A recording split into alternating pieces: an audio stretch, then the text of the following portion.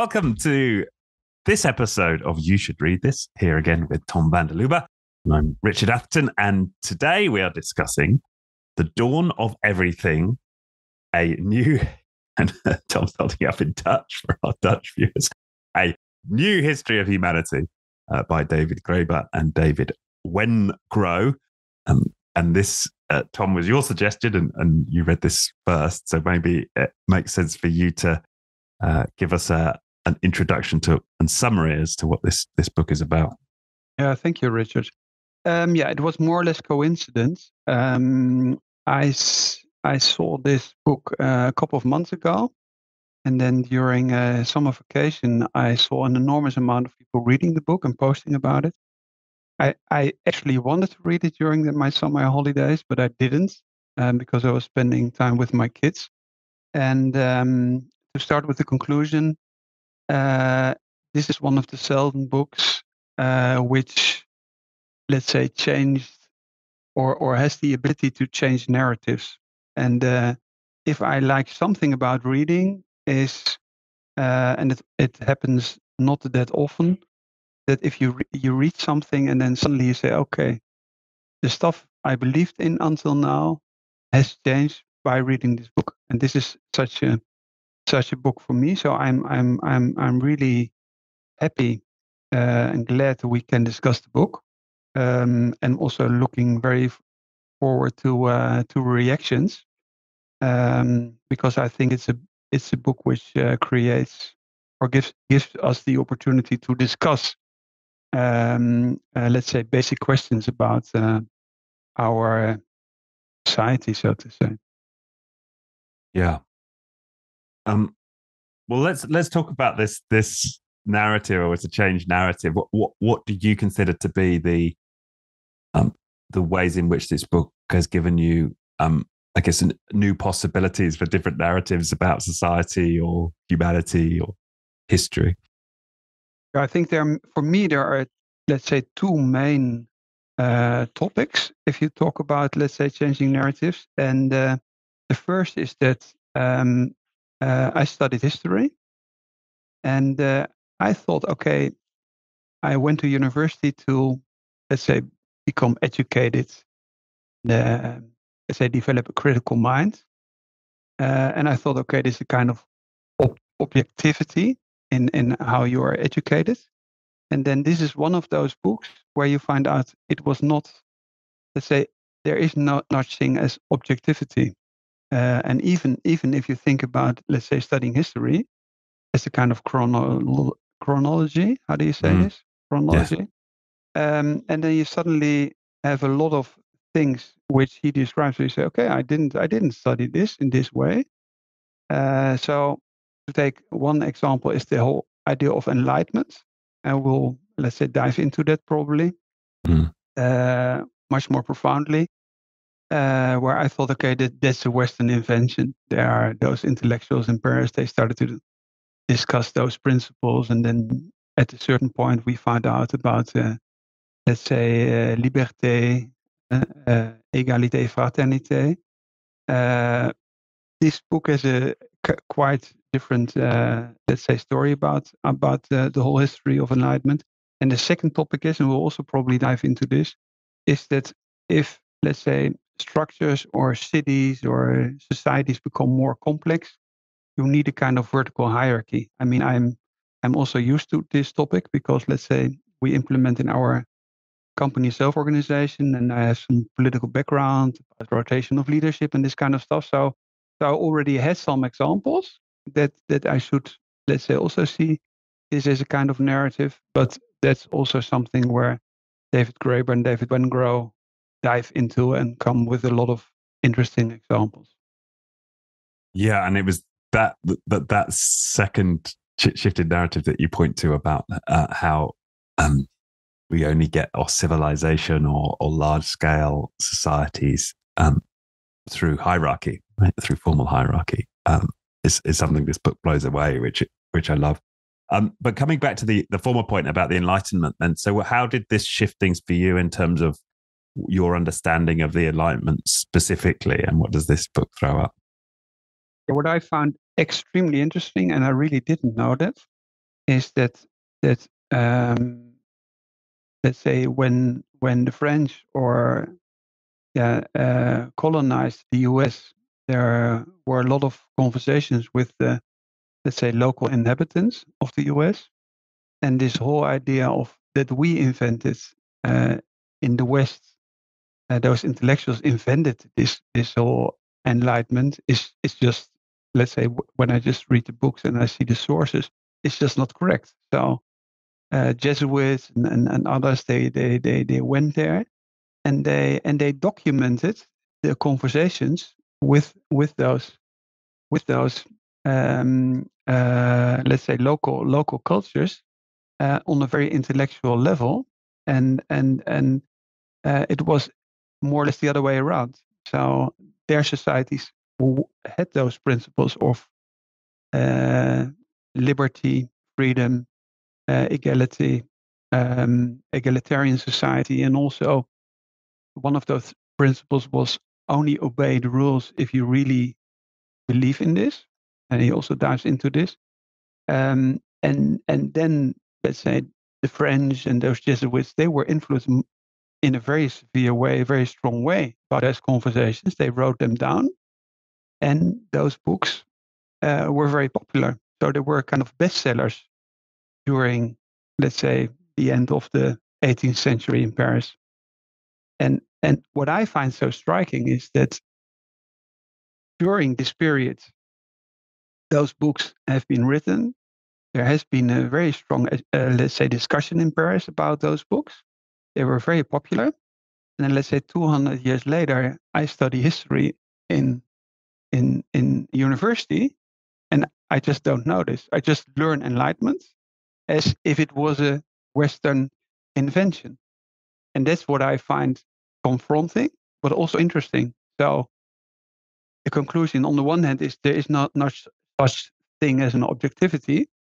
Uh, so, so so at least this whole idea of a kind of discourse or kind of discussion, or what I often call could the opposite also be true? uh, is probably uh, um, a good exercise, no matter what kind of discussion you have. And it's not about what you believe or what your own opinion is, but at least create more space for a kind of alternative or alternative thinking. Mm. Yeah, and and I thought that what was interesting, um, in in terms of learning about those exchanges with, as you say, often these these French intellectuals, particularly in Canada, right when the French were um, colonizing Canada, and how they had to admit that many of these uh, native uh, natives of, of that area were, were far better orators, debaters uh, than they were, right? Yeah. And and so they were accepting that um, that the societies there were were producing, in some senses, finer minds than than the French educational system was. And they introduced this character who, you know, I grew to love reading the book, uh, Kandiaronk, yeah. who was uh, w- one of the elders there. And um, this book reproduces some of those exchanges. Um, I wonder if I should if I should quote one of them here just to give you a flavor yeah, so, yeah. yeah. What, what, what, we're talking about. So La Hontan. Um, so this is um, this is in the context of of of punishment and the and the judicial system uh, that's operating. Uh, so La Hontan, who's who's talking with uh, Kandiaronk, this uh, Native American. Um, this is what so La Hontan says. This is why the wicked need to be punished and the good need to be rewarded. Otherwise, murder, robbery, and defamation would spread everywhere and in a word would become the most miserable people upon the face of the earth so making the case for the you know the french justice system and then Kandiaronk again the, the native american for my own part i find it hard to see how you could be much more miserable than you already are and i was finding myself laughing out loud at these 100 year old quotes or multiple 100 year old yeah. quotes uh, from from these guys um, what kind of human what kind uh, what species of creature must europeans be that they have to be forced to do good and only f- refrain from evil because of fear of punishment. We have observed that we lack judges. Um, what is the reason for that? Well, we never bring lawsuits against one another.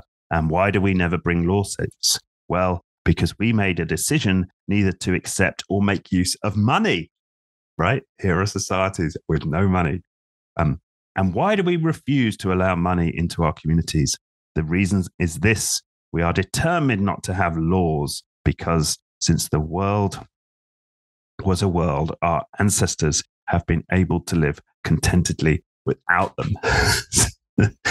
and this must have blown, well, it was blowing the minds of these uh, intellectuals. Um, and, it, and it, I suppose it gave them a whole new conception of what it might mean to be free, um, uh, which was never really adopted by like by European societies, right? We kept our kings, we kept our laws, we kept our money, but it had a huge influence.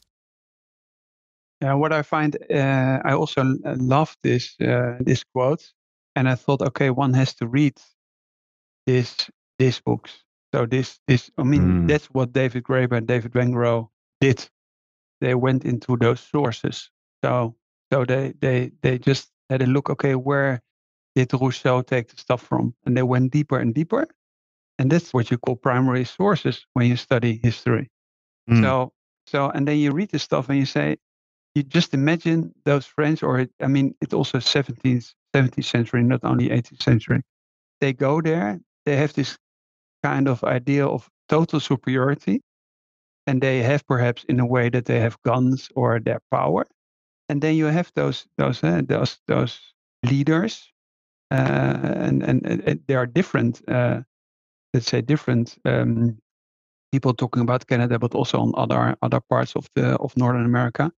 And and and they have those this intellectual superiority and they're just laughing at those at those french or these jesuits and what and what is interesting is that those jesuits uh, they were interested also in the intellectual discourse the intellectual debate and what you just see if, if you read this kind of of, of text uh, that they are influenced in a very strong way, and there is a lot of sympathy for for what they learn from these conversations. So I mean, it's difficult for them in their cultural setting, as it is for us now, to admit that they are wiser and more civilized, which you also see, for instance, in you talk about the whole climate or society or belonging or um, let's say mental problems, etc.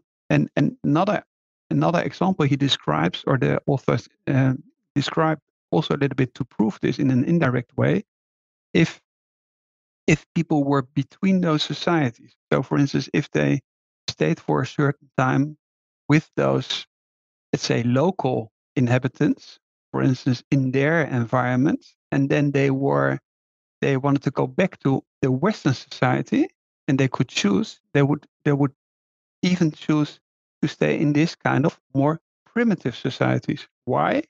Because there was much more solidarity or much more belonging or kind of a kind of yeah, you can call it even a more human way of of connecting to each other, which also proves in a, in a, on, a, on, a, on let's say individual individual scale that if somebody lives in those two different societies, people feel much more attached to to this what we call more primitive societies, uh, which which I found which I found a strong example to let's say next to this more intellectual debate about is our society more humane or more equal or do we have more freedom? But i, I just i just imagining those french people going there and then somebody says no we are more free. I, we laugh about your society. It's just it's just uh, who are you to tell me that uh, that you from the West have a have a more uh, let's say a better society, or uh, why why do you think you're you're superior? Yes, that's right, and and that was it in both in both senses. So there, he he cited that there. Well, the authors cite examples of um, children who would be taken from those native environments and brought up in in French yeah. families, and whenever they then got the opportunity to return, they would return and stay. And the same goes if, if you took, yeah, as you say, somebody uh, from a Western uh, society and, and they spent a significant period of time, they, they also wanted to stay. Um, and, and part of it I, perhaps links to this idea of freedom. You mentioned it, free freedom. And they, they, they use a definition, the authors of, of, freedom in this book, which they use as a kind of a, as a yardstick, I think, to under, to to judge the level of freedom a particular society is providing, and they they define it in um, along three lines. So um, it's the freedom to move away or relocate from one's surroundings. And so to take that first one, and we'll go through all three. But w- what you found that a lot of these uh, individuals in primitive societies could could travel widely, right? And yeah. they would they would try they would travel and they could travel between you know, between areas, you know, with with no money, but they're living in a in a network of relationships between between tribes and, and between the, the different societies that enabled them to to prevail on the hospitality of other tribes and obviously and the, and the skills yeah. and their abilities to travel um, and and and gather food as they were traveling. And they had that freedom. And you compare that to take that first example with today there are many countries in the world you can't you can't leave.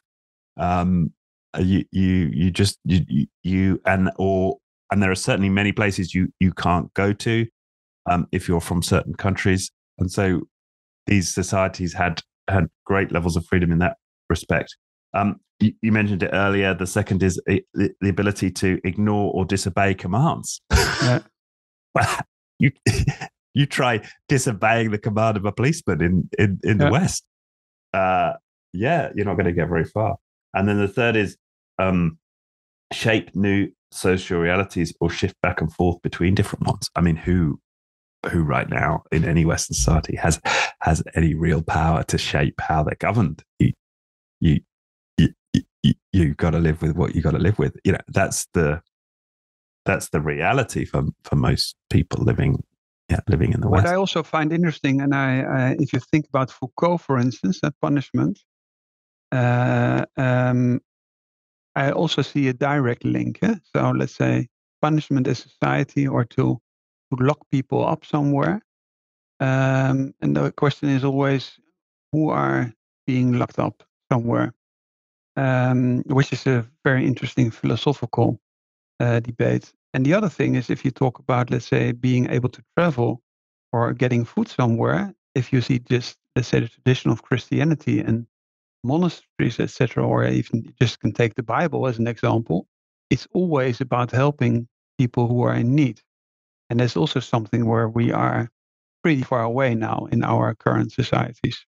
So, so and that's also something, for instance, which is extremely interesting. If this, let's say, native uh, leaders are discussing with the Jesuits, which which have this kind of Christian morale, and then and then they say, yeah, but but if somebody comes by, uh, we always would help uh, them. We always would would be able to give food somebody to somebody.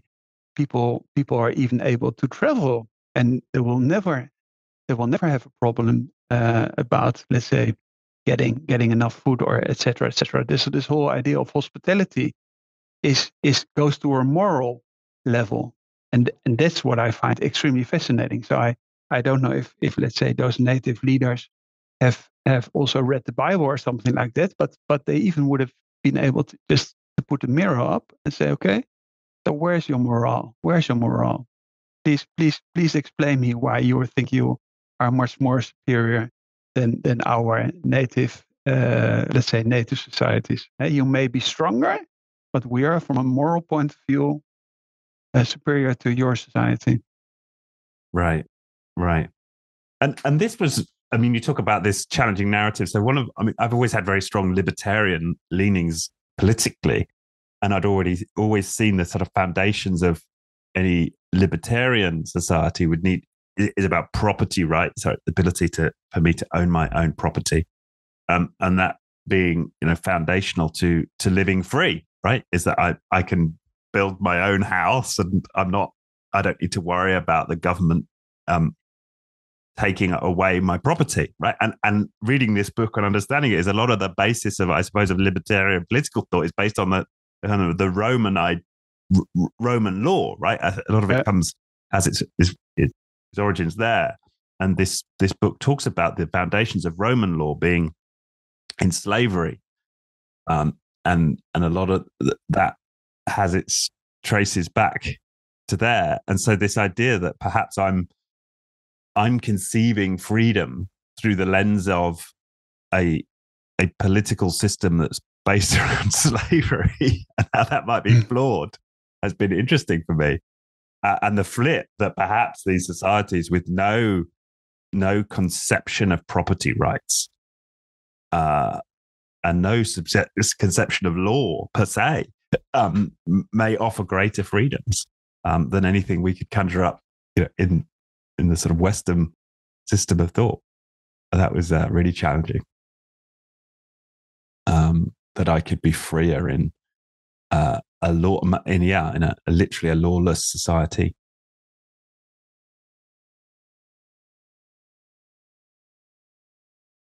And that's not to say that these societies were always peaceful. I mean, that's the point being made, right? They they have wars. Um, they go to war with each other. Um, but the distinction, and this, let's just take the, the example of the Wendat, who Kandiaronk, who I quoted earlier, was a member of. They would have uh, wars with other tribes, but they would never, they would, this is the point that Kandiaronk, they would never go to war against themselves. There's no punishment towards their own people. And that was what he was found so fascinating about uh, Western society is that, is that we will murder our own people. We will put our own people in prison. Um, what I what I also find very interesting is if you take this idea of freedom, because let's say in the book one dives, let's say also into this to these dimensions. Then, for instance, I, I don't know what page it is in my it's one uh, uh, forty eight. It's about Jesuit Lalemant, and then and then and then it's it's about freedom, and then uh, the the Wendat. Um, uh, they they they dive into this idea of freedom, and then it's about freedom as a as a practicality. So is a freedom still free? A freedom if you if you if you if you can't act uh, uh, in in in a way that that you have this freedom. So so and and and this is also a discussion we have. If you talk about let's say voting rights, you can have a right to vote, but if there is a lot of uh, let's say, influencing the political system by spending money or uh, lobbying, etc. And the question is, okay, what what kind of rights are these rights in practice? And so you talk, let's say, you take one example of freedom to travel, or uh, freedom to move, or to move away, but it also got it also goes much further to what what are real freedom rights if you can't act accordingly uh, and that's that's something which we, I think, um, realize in our societies uh, very much. Although uh, we always learn about uh, one man, one vote. Uh, one man, one vote is not one man, one vote, uh, or one, one woman, one vote. Yeah, that that's right. Um, and and part of that is, and this is this is the point they make is that one of the things that we do well you can say the west but really globally right? This sort of western political system now is, is pretty much pervades the whole um yeah. yeah the whole realm right? But that um we turn wealth into power through money and property. That's what our societies do. And that that's what what's different about a lot of these uh, uh, societies in North America that we were studying, not just North America, right? I mean, they study, you know, societies across across the world, but um, wealth didn't necessarily equal power. So I might be more wealthy in my in my tribe or my settlement. Maybe I have um, uh, more cattle or, or whatever it might be, but that doesn't translate to power. I don't because of that. I don't get to tell people what to do, um, and that's the big difference um, that if I'm a member of that society, I can still ignore your commands. I can still not accede to your requests, and and that's that's a huge difference, right? If I if if somebody has wealth in one of our societies today, we can turn that very easily into power, as you say, through lobbying um, or other processes. Um, but that's just not the case. Um, yeah, just not the case in these societies. I don't get more power if I become more wealthy. Yeah, it's it's uh, the whole book is also a kind of mirror for our current uh, society, where we still are raised with those basic beliefs. I would call it uh, of the Enlightenment uh, about uh, freedom, liberty, uh, equality, and fraternity, caring for each other, and and you can put a big question mark behind those three basic principles, and that's mm. that's done here in the historical context uh, but you can also put it in a uh, contemporary context, and that's also the starting point of of David Graeber, eh, who wrote uh, Bullshit uh, Jobs and uh, was one of the intellectuals behind Occupy Wall Street, etc. Uh, and they then also take the the context of anthropology, prehistorian excavations, etc. And then and then they show, let's say, from from from that perspective as well, that this whole uh, idea that that our civilization has to develop in a certain way because otherwise it would be anarchy. Huh? Uh, let's say in the in the in the in the in the negative way that it would be one big mess uh, is is at least something those two authors give a lot of examples that is not the case. So so this this second part that that we need hierarchy. Perhaps even we don't like it, but there's no other solution than have a kind of virtual hierarchy. And if somebody doesn't obey the rules, you have to put them in jail. These are those narratives which are just questioned and questioned in a very interesting way because they give a lot of examples from the past where you have different solutions for this for the same problem, so to say, or for the for the for the for the for the same for the same starting point or for the same question how do we organize our societies? How do we build our cities? How do we how do we supply housing to everybody? Uh, how do we distribute wealth etc this this uh, you can call this provoking but it's it's just interesting to to question our our own beliefs so to say. Yes. Yes and, and it's that second aspect that that fascinated me and all of the examples that the Göbekli Tepe is a is a is a society he he talks about um, who who that was discovered by um, German archaeologists in southeast Turkey on the Harran Plain, and they uh, they had very they they they were non hierarchical. Uh, they didn't have uh, kings. Um, they were hunter gatherers, or or and maybe some a little bit of farming, but they weren't farmers as we would think of, of farming societies. And yet they created monumental architecture. Yeah. So we we we have this this idea. Well, it's almost like with with no hierarchy, with no kings, we get no cathedrals, right? We're not going to get yeah. big cities. We're not going to get uh, that bounty that a hierarchical civilization offers, and and and the examples, and there are many in the book tell us that that is not true. We can scale, we can create um, man made wonders without the need for kings and hierarchy. And, that and that's what's fascinating. It's particularly fascinating to me because we see examples of this in the modern workplace today with these companies, a bit like that, that obviously that you're a, a, co-founder of, but uh, other companies where scale has been achieved without formal hierarchy, and uh, we can can do it, and it obviously has been done uh, historically. Um, yeah, or at least on, let's the, say at the level of society. I mean, at least let's say he, they describe uh, those mechanisms eh, of, uh, let's say, rotation or decentralized decision making, etc., which which actually we also know pretty well. Huh? So there are enough societies where, uh, let's say, if you I was take the European Union, where you or just let's say our European uh, uh, let's say, countries where you have on a city level, you have certain powers and they are divided from, let's say, then the province and uh, from national politics. And people decide for themselves if they want to renovate the swimming pool of the city or uh, want to put their money somewhere else, etc. And, and let's say, depending on the country, it's it's it's, it's a clearer split. In Switzerland, is for instance, you have three different tax bills.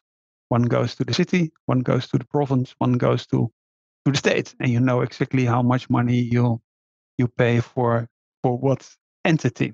Uh, so so this idea of decentralized decision making that it makes sense is also something we we we also have in our societies. But what what is so striking is that let's say if you if you just see this kind of prehistorical excavations, uh, and that's also I find it a strong point. I mean, I, I haven't studied anthropology that, but they have a lot of examples. So it's not that they have found one example. No, they they show that all all over the world. It's in Mexico or Turkey or Mesopotamia or whatever or Ukraine. They they they they find those examples everywhere. So so, and what's the strong point about this? It says, okay, this is not an exception. People on different places and different times found the same outcome. They they built on a more equal way. So so they just say just very practical. You do those excavations and you're searching for a palace, but you don't find one. You only find, let's say, houses or apartments around a kind of courtyard. They all have more or less the same size. And then you have a city of I don't know, hundred thousand, or I don't know if it's if it's even much bigger. I I, I think uh, if you talk about Mexico, etc., and they say it's, it's in, in, in comparison to Athens, Athens is a, is, a, is a smaller than a village in comparison to those excavations in Mexico. And they say an enormous amount of people. And then they find a kind of structure. And then they find that there are kind of rotation structures or how people helping their neighbors, etc. So in a very decentralized way. And then the question is, how is this possible? It's such civilized and and and and intelligent structures of of creating, let's say, big cities with an enormous complexity. How did this work? I, I found it fascinating to read this. Yeah. Um, yes, and, and and and particularly when we talk about the, these examples of of the cities where everybody had roughly the same house. Well, this wasn't done through state communism, right? This wasn't done through a central uh, command and control economy uh, as you say, this, I mean, they're speculating to some extent exactly how those governance structures work. But as you say, um, the speculation is that it was, yeah, it was local decision making. It was neighbor to neighbor. It was something that was. Um, I had to, yeah, I had to think about also pol- political uh, theory, John Rawls' uh, theory of justice, uh, where, and that's what I also learned at university. That somebody says, okay, if you just imagine you, you're born somewhere and you don't know if you were born from a wealthy family or or exactly the opposite, how would you organize a society? And the conclusion is you would like to have a quite elitarian uh, society because you don't know in which situation you would be in. And this is more or less this is more or less practical prehistorical anthrop- anthropology, let's say, view of, of this. That that you say, okay, you have a huge city, you have hundred thousand or half a million people, uh, if I don't know how how would we organize this, and then we would probably come to the same conclusion. Let's divide in a way that everybody has a kind of certain space, and that, and shall we shall we build a kind of structure where if you are in need, you have a neighbor who will help you because I will do the opposite as well. Huh? That's a golden rule, so to say.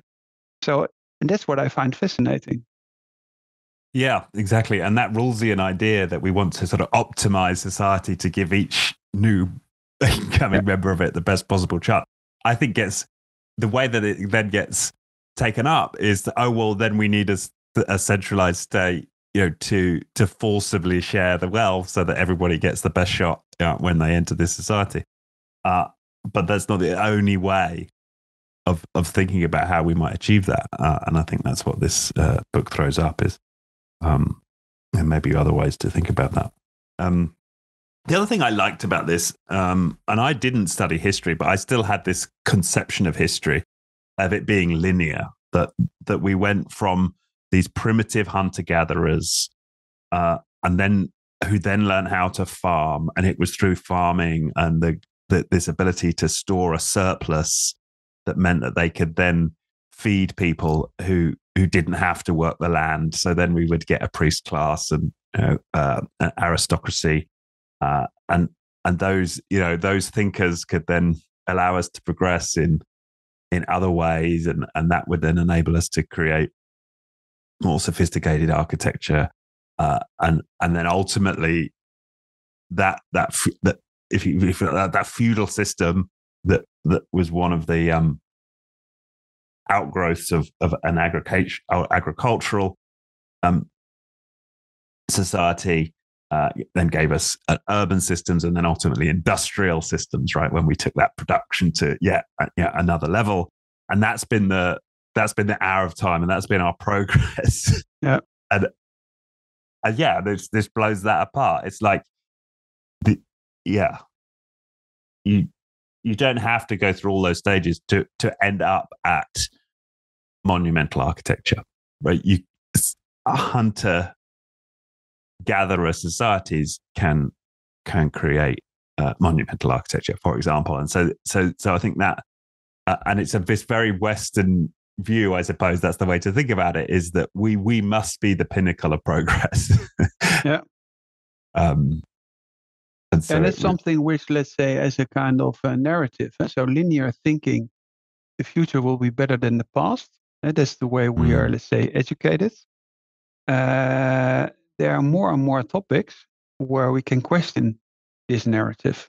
I mean, you can mm. you can talk biodiversity or climate or let's say mental health or even even even purchasing power. So how how much money do you need just to to take the example of uh, let's say the company uh, I'm I'm I'm building with my colleagues. If you talk about mortgages, uh, how much how much income or what's the factor of the amount of incomes I I need to earn to be able to to buy a decent house for my family as an example. Has this become better since the 50s or 60s or 70s? Or has this gone worse? So there are a lot of lot of those narratives. Doesn't matter what what you take, or let's say the amount of hours you work. You can take uh, Charles Dickens, etc. But if you just see, let's say, your parents, most of the time, I said it was there was the father who had a salary and he was able to to earn enough to serve his family. He could go to college, etc. Talking about let's say the 70s or 80s. And now you have to work with two people to be able to earn enough money to to reach the same goals. Now perhaps we gone more uh, on holiday, etc. But so there's also a lo- also question about purchasing power since the 80s. Did it go up for most of the people, or did it go down? So you have an enormous amount of different different uh, uh, subjects where where I think we are in a kind of phase or situation now where it's not very difficult to question, as we all experience this ourselves in our daily lives. Yeah, and and I hear that argument a lot. Like, you know, let's let's go back to the let's say the fifties. You know, where where one income could uh, could sustain a middle class family, but you could that that's limited in thinking, right? Go back to medieval times, and there's that there's arguments I've yeah, heard that we that's that, correct that it like one man, a skilled craftsman, could work I think for forty five days and provide for his family for the whole year.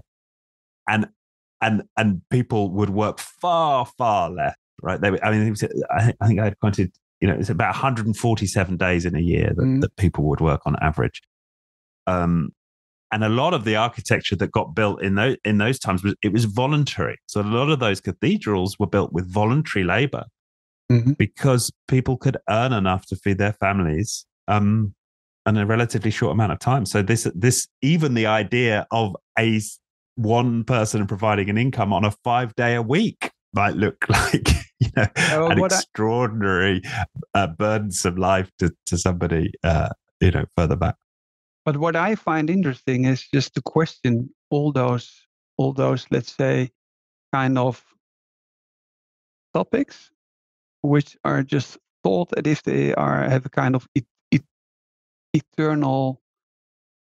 Yeah, they are they are thought like they thought like they are eternal beliefs, so to say. So if you take listen, take, take an example, a very simple one. If you have much more money, then you are happier, and then you compare. Or let's say if somebody wins lottery, then you must you must be much happier than you were before. Now, we all know these examples. It's not the case. If you ask them half a year later, they're even less happier, which I find always striking an excellent example. If somebody has a severe accident, you think, okay, uh, it's not worthwhile living anymore. No, you ask somebody in a in a wheelchair half a year later, same level again. So, so that's that's very interesting that that it all goes back to a kind of kind of average level, no matter where you come from. But also life expectancy goes down again in the UK and the US, as an example. It doesn't go. It, it, it's not. It's not one linear way up all the time, and and it's not uh, a kind of. I mean, if you think about correlations, it's always it's always this kind of moral superiority that that we're such a great species. We're building better and better societies all the time. But I think we live in a, in in in in times where we can question on a lot of dimensions. We can question this: Are we happier than our parents? Are we wealthier than our parents? Do we live in a in a more, let's say, uh, less risky environment? Do we live in a healthier society? Do we feel more cared about, etc.? I mean, just to question all those all those questions is, let's say, from an intellectual point of view, I find this uh, refreshing uh, and also in a way very confronting. Yeah. Yes, and, and we're seeing that. I mean, we're seeing now these uh, this this movement of conscious communities, and I know that there's that this is happening a lot in Mexico and parts of Central America, where people are are getting together in groups and buying large sections of land and going back to live lifestyles very similar, it seems to me, as, as that described by Kandiaronk uh, and the Wendat. Um, it's it's people are saying, well, no, that where we're at right now isn't the pinnacle of a possible existence. Um, it, yes, it's and and interesting, and and you could almost argue, right, that there is a parallel movement which you and I are perhaps part of in the workplace of saying, um, yeah, let's let's go back to a style of organization um, that yeah is is not bureaucratic, is not sophisticated in the way that we might uh, think about um, yeah organizations today, and and that it's uh, it's it's much yeah it's it's it's actually you know much more efficient and a much happier place to be if we if we let go of a lot of um, um, what we consider to be, uh, yeah, um, necessities of, of, of running a, a corporation or a business. Absolutely. I mean, the last sentence of the book is uh, we are surrounded by myth. And I think that's um, that's that just just just to take it much broader. Um, my conclusion is always I should question much more and much much stronger the stuff I learned or uh, the stuff I read or the stuff I see or stuff I listen to. Is this really true? Or as I always use as an example, could the opposite also be true? Um, is this is this is there also a kind of alternative idea to to to what I think, just just for the sake of of discussion or intellectual curiosity? and it's not about it's not about let's say what, what we see now nowadays doesn't matter what topic that it's much more you surround yourself by people who have the same opinion and if somebody doesn't have the same opinion about covid or doesn't matter what topic uh, you don't talk to each other anymore. Now the mm-hmm. old idea of, of let's say educating yourself is surround yourself with people who have an opposite opinion to to to uh, for the sake of the discussion. Say okay let's say what what can teach somebody else me with another opinion? Uh, it's to sharpen your mind so to say that's that's what I find interesting, and that's what I if I just read about those Jesuits and uh, with their moral superiority, they discussed with those with those inhabitants eh, on on a very respectful way, and I think yeah. this was much more respectful than the way we discuss nowadays. And it doesn't matter if it's populism or Trump or so you can take or you just take the actual uh, situation in, in, the UK. Uh, there there's always enough political political uh, discussion going on, but but uh, uh, let's let's just invite ourselves uh, to to discuss the opposite.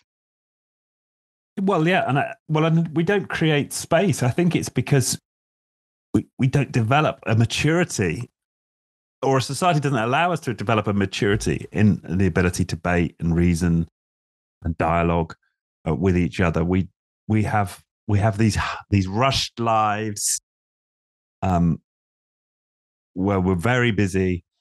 Um, we don't we don't have time and space to develop in that way, and uh, and that's again what Kandiaronk talks about, and, and what gets observed um, in these societies that, that a lot more of a much bigger proportion of the day is spent in debate and dialogue,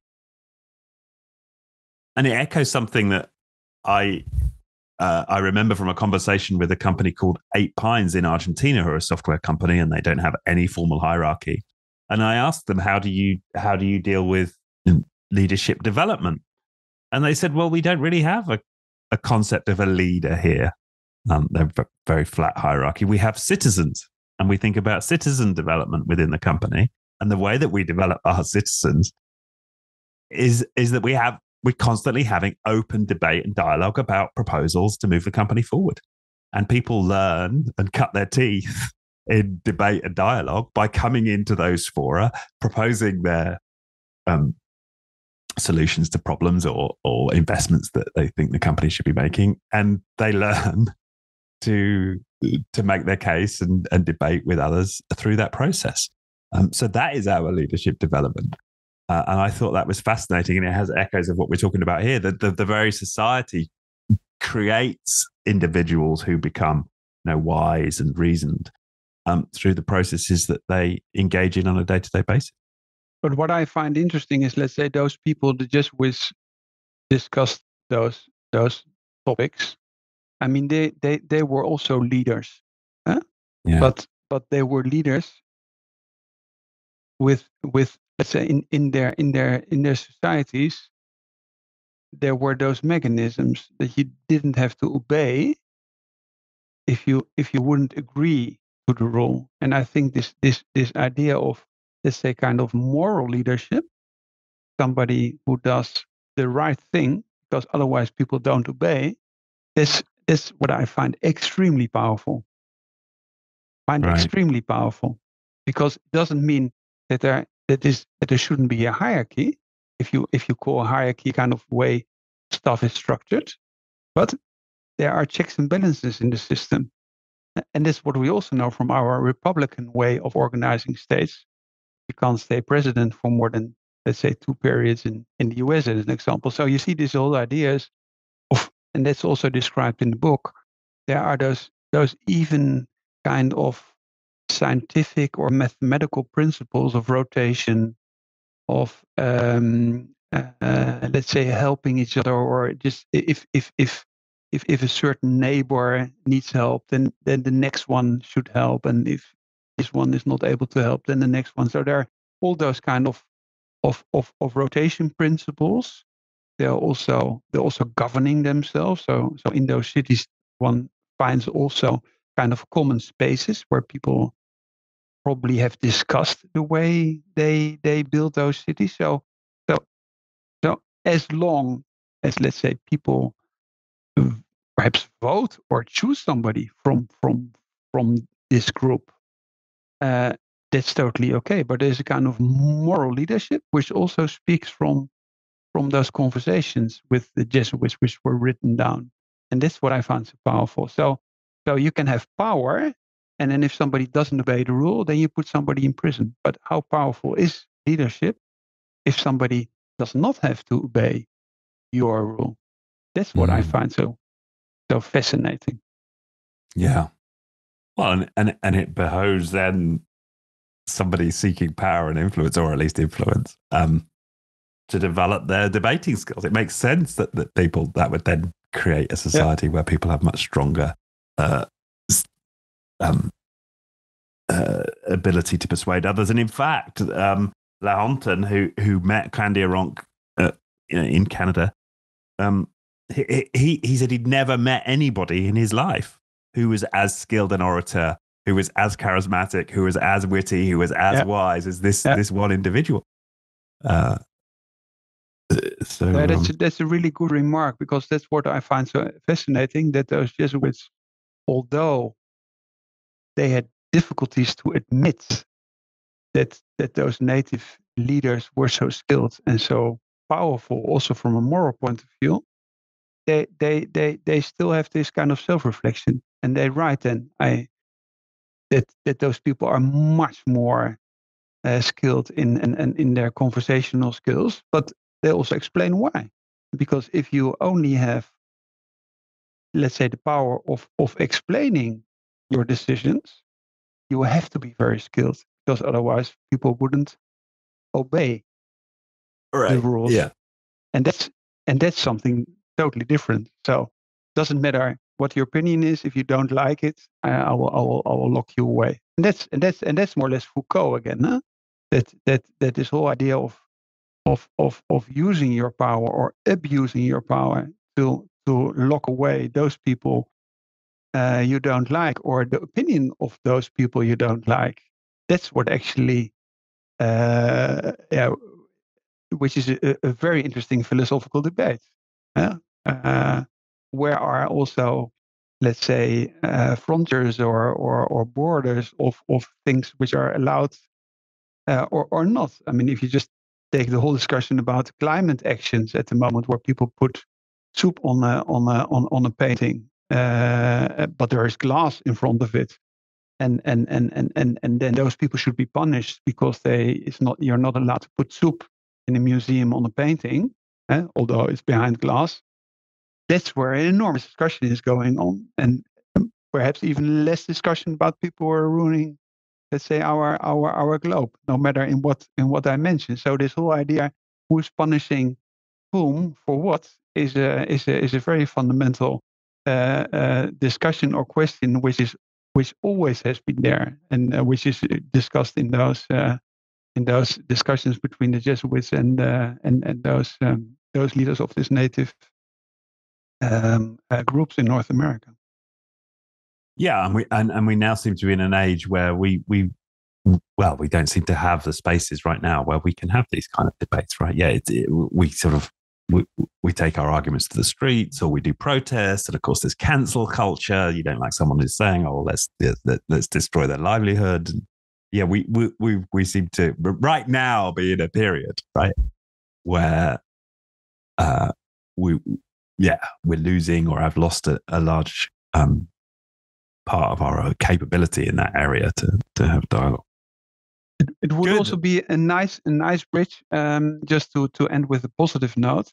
There's a lot of discussion going on about citizen assemblies and where, where people in a kind of random way, not totally random, but they're they're chosen to to to to further develop our let's say parliaments or democracies. And then you get back this kind of this kind of let's say uh, participation of of the society as as a whole and not of a very small elite elite group which which which sits in parliament uh, to to to to to change or or further develop our let's say our own uh, political uh, systems so but that's perhaps a topic for yeah but it's the, important to yeah it's, it's, absolutely important to point to that um that that that that's what it stimulated me to do is to think about okay well how what can we envisage right yeah. we can't we can't start living like necessarily uh, immediately like these, correct, people yeah. in this society. But what can we do? And I love the the sort of pop that that the authors have at uh, Yuval Noah Harari. Um, they said in their conclusion, actually, there is so Harari writes, there is no way out of the imagined order. When we break down our prison walls and run towards freedom, this is Harari saying this. we are in fact running into the more spacious exercise yard of a bigger prison. And that kind of nihilistic view that we're kind of destined to this life of serfdom and servitude. And when you hear, yeah, Yuval Harari talk, he, he does seem to have this sort of somewhat, uh, uh,